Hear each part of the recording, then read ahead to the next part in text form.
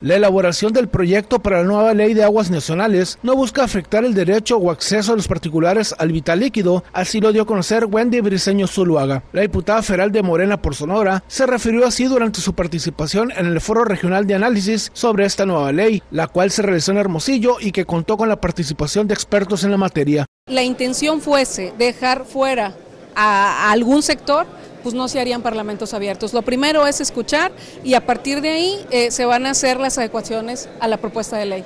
Agregó que para dar certeza a los productores, particularmente a quienes se han manifestado con preocupación en el sur de Sonora, este foro se realizará también el día martes en Ciudad Obregón. El tema del desarrollo económico, por ejemplo, que es tan importante, eh, se tiene que poner sobre la mesa, pero no puede estar contrapuesto con el tema de este medio ambiente sano al que tenemos derecho. Entonces, ambos, ambos ejes tienen que convivir, no contraponerse. Germán Contreras, Mega Noticias.